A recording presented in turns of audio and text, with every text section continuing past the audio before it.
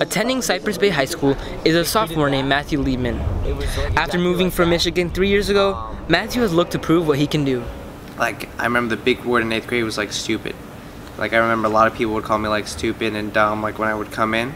And the big thing for me, like, I never told anyone this, but it was like to prove people that I wasn't, to prove people that I was more.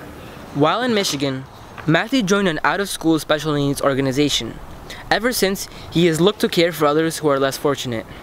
Like, I feel like when, uh, like, you interact with people like who have special needs and stuff, one, I think it makes you like a better person. It makes you like, uh, you know, create like have empathy and care about people. Um, and like, I just think it makes myself like a better person in general.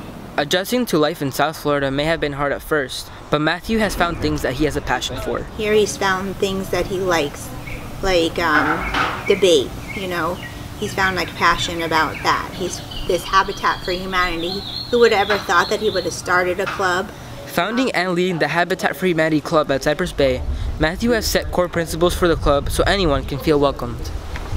But I try to have it a way as people can come to try to meet new people and go to the like the build sites and the restores to hopefully like you know meet people and form like attachments in the couple hours that they have.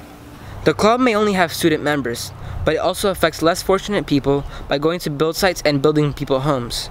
Leading the club is something that Matthew cares deeply about, and in the process has learned the difficulties of leading a club.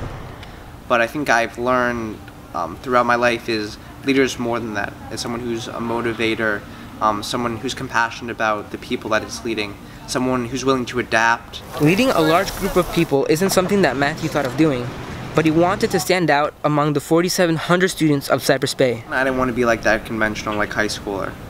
I want to be like the one who just like goes home every day, studies, you know, like maybe on the weekends go to a couple parties and then that's it.